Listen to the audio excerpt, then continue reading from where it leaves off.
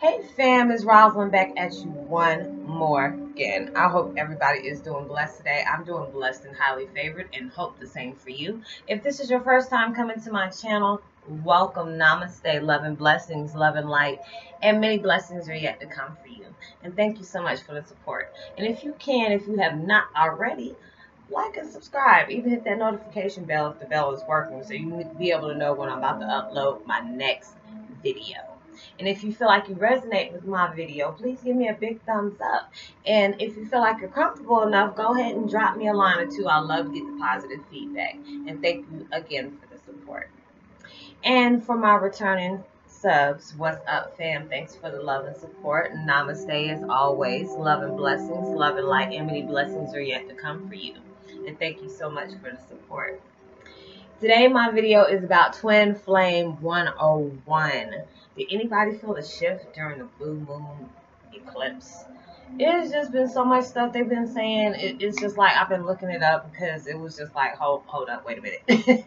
Things are not the way they felt like like last week or the week before. They just started getting really intense. Like I don't know if it felt like I was going through an ascension, ascension phase or anything like that, but it was like more memories was coming back, especially with you know my me- like really messed up, especially during my childhood. So it's just a lot of things that happened to me that really I didn't think that was significant to me, really came back. And that was like crazy. I'm, I'm like, why would this come back? Like I can be in the middle of doing something and boom, here it comes. And it was like emotional, but it was a good thing that I was able to um, you know, to experience that again. Even though it was like really intense, but not, you know, it wasn't to a point where I would get really upset. But it was just something that, you know, okay, hey, I need you to, you know, need you to remember that because everything happens for a reason. But it's like since then, I've been really tired. Like I had literally take, you know, a 24 hour, to 48 hour break um, because I, I felt so drained. I don't know what it was, but I just felt drained like I was just going to go save the world for like about two weeks and came back and it, just sucked the life out of me. So I had to just really really just recuperate because I just didn't want to make a video right after that because it was just like I did not want to send those kind of vibes out because I was just tired guys. You can see like black marks all, all up under my eyes and it just really didn't look good. So you know I don't know if you guys had that kind of problem but it was just like a lot of things like my emotions were like a roller coaster.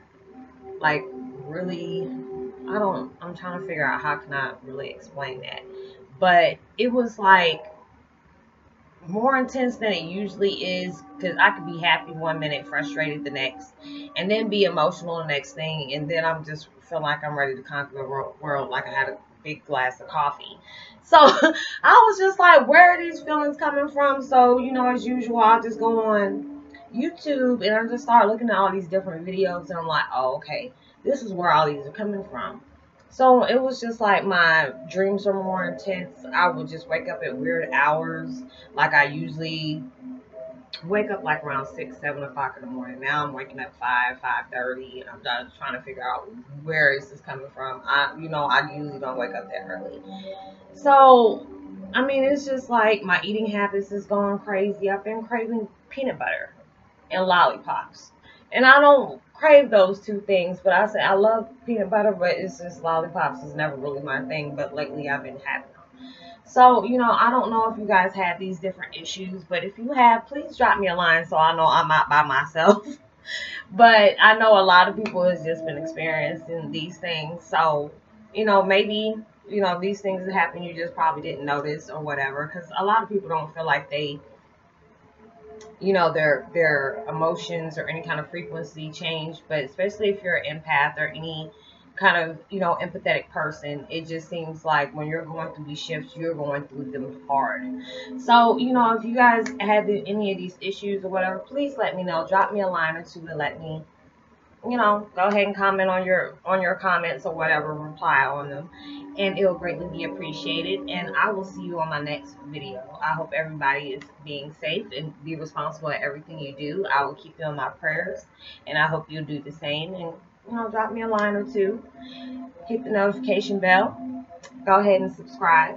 And I will talk to you later. Peace and be wow. Much love.